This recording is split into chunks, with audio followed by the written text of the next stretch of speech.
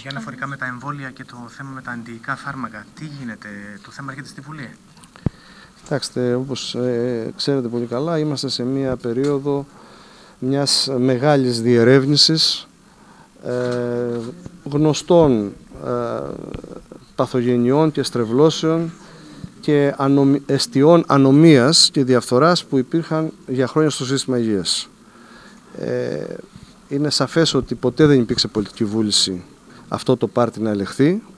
Τώρα για πρώτη φορά έχει δρομολογηθεί μια διαδικασία θεσμικής διερεύνησης και απόδοσης ευθυνών και μέσα από τη Βουλή αλλά και μέσα από τη δικαιοσύνη και τους ελεγκτικούς μηχανισμούς του κράτους. Εμείς εννοείται ότι στηρίζουμε και συνεισφέρουμε με στοιχεία από το Υπουργείο και τις εποπτευόμενες υπηρεσίες αυτή την προσπάθεια.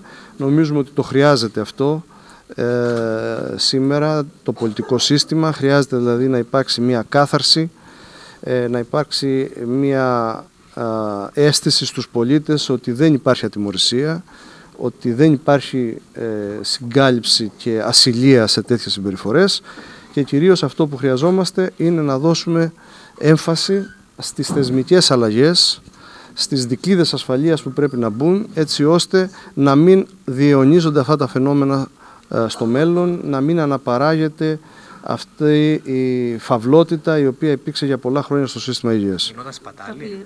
Υπήρχε και προκλητή ζήτηση και σπατάλη και επιρροή επιχειρηματικών συμφερόντων και διαφθορά και δυστυχώς και εκμετάλλευση του αρρώστου. Αυτά είναι φαινόμενα εγγενή και διαχρονικά στο σύστημα υγείας της χώρας μας.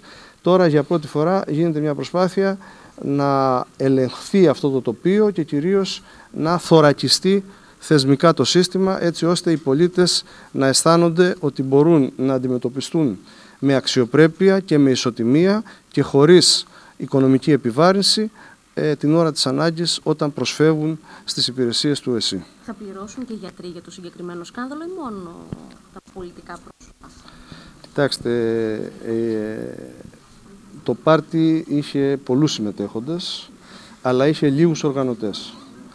Καταρχήν λοιπόν το ενδιαφέρον εστιάζεται στην διερεύνηση των ευθυνών αυτών που οργάνωσαν έχοντας είτε πολιτικό ρόλο είτε υπηρεσιακό ρόλο και διοικητικό ρόλο ε, στο σύστημα υγείας. Ε, αυτοί λοιπόν οι οποίοι διαμόρφωσαν το πλαίσιο ε, για να υπάρξει αυτή η εκτεταμένη διαφθορά. Η δικαιοσύνη διερευνά προφανώς σε όλο το φάσμα των εμπλεκομένων. Εμείς δεν θεωρούμε ότι υπάρχει συλλογική ευθύνη, δεν ευθύνονται για το ε, πάρτι αυτό ούτε όλοι οι γιατροί, ούτε όλοι οι πολιτικοί, ούτε όλα τα υπηρεσιακά στελέχη. Εμείς θέλουμε λοιπόν χωρίς κυνήγι μαζισσών, χωρίς ε, προσπάθεια γενικευμένης ποινικοποίησης είτε του ιατρικού έργου, είτε της ε, πολιτικής εν γέννη, προσπαθούμε να κάνουμε αυτό που σας είπα πριν από τη μια διερεύνηση του παρελθόντος και από την άλλη θωράκιση του συστήματος για το μέλλον.